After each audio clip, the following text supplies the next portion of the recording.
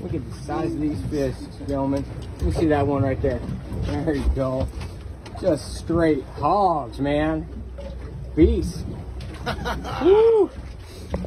We not only got that, we got a box full of them.